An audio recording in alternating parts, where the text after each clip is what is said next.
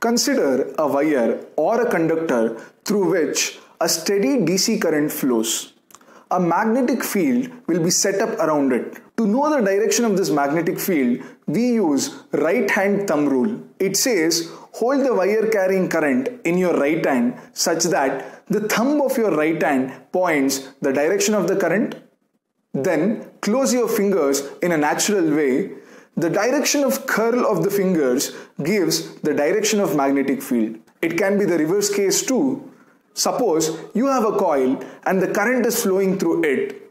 If you bend your right hand fingers in the direction of the current, then your thumb will point in the direction of magnetic field. Now we know that there exists a relationship between electricity and magnetism. Imagine if it wasn't there then we wouldn't have electricity because hydroelectric plants work on this principle.